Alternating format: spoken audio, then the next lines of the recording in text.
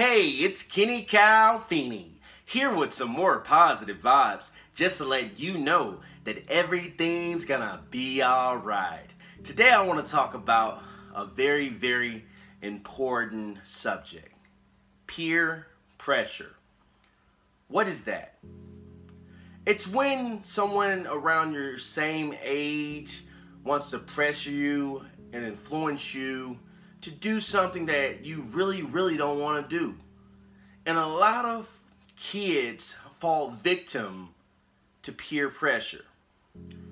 And they don't realize it when they're affected by it. They're just going along with the crowd most of the time. They just want to be accepted. They don't want to just stand out and be judged by their peers.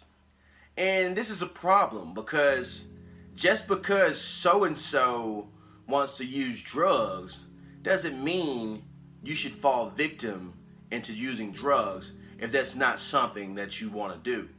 And a lot of people start drinking because of kids influencing them to do things like that. It's so many pressures growing up as kids and we don't realize it when we become adults but a lot of our bad habits come from our childhood and being influenced by our own peers. And it's crazy because I fell victim throughout school, you know, all, all, throughout my adolescent years, my teenage years, and even in my adult years. Because I wanted to be accepted. I did things that I knew that wasn't morally correct and knew that I wasn't raised that way, but I did it because I wanted to be cool in front of my peers. And there's a lot of people who do this because they don't want to be talked about. Because a lot of people might call you names, call you lame, call you stupid, call you weird, just because you're not partaking in things that they're doing. But there's a saying, you know, if they jump off a building, would you jump off a building? And if you ask yourself that question, deep down you know you wouldn't jump off a building. So why would you take drugs if you know that's not what you want to do? Why would you drink alcohol if that's not what you want to do? Why would you do something sexual if you know deep down that's not something that you want to do? But a lot of people fall victim to doing things that they don't want to do because they just want to fit in and they don't want to lose friendships. So they end up compromising what they believe just to please people. And this is a problem because what if somebody wants to rob a person's house or a store? Then what? You ready? I don't know. What you mean you don't know? Do you really think it's smart to go break into somebody's house? Duh! So, what are you gonna do if we get caught? I don't know. Let's go. Mm-hmm. You know you're going in first, right? What do you mean I'm going in first? Somebody gotta be the lookout, right? We don't want to get caught. Oh. Mm-mm-mm. And you're going to jail. And ain't nobody got time for that. I got three steps that can help you overcome peer pressure. Here we go. The first one is practice saying no. Most people are so afraid to say no. Let's practice. Do you want to smoke this cigarette, man? No. Do you want to hit this weed? No. Come on, man. Drink some of this alcohol with us. No. Do you want to have sex with me? No. Do you want to go graffiti this building, man? It'd be so fun. No. And the list goes on of the peer pressure. So why would you continue just saying yes by default and you can always say no? Step number two, ask questions.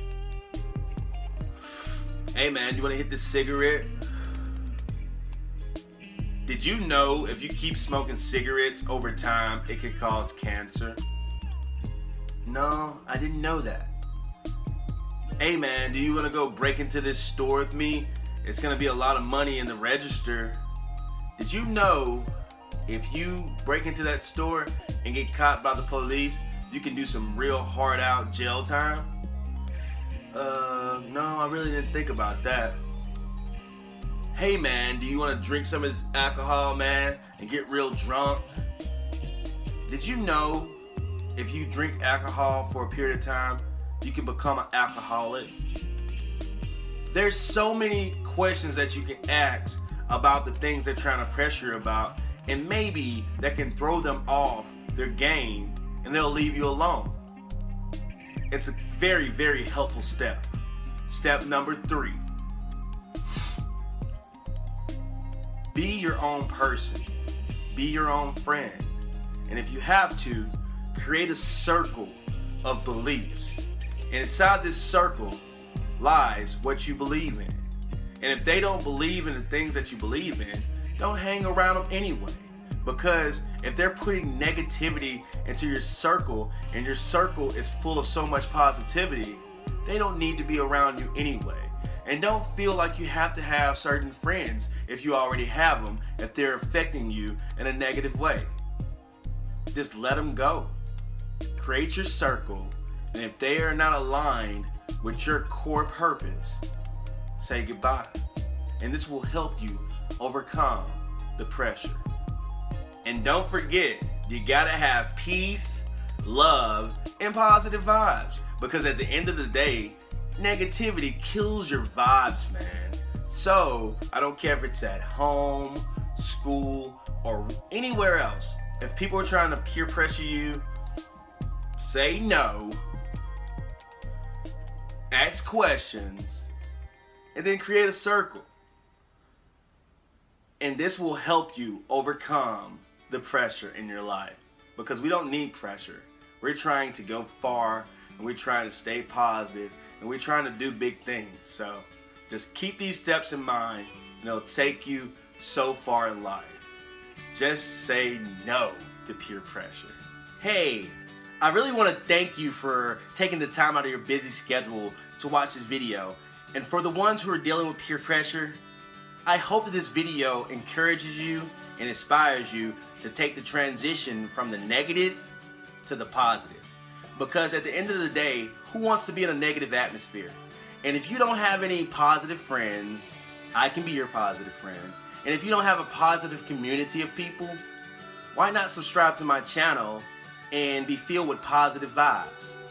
Have a wonderful day and don't let peer pressure stop you from living your life. Do what you love and be your authentic self. Bye.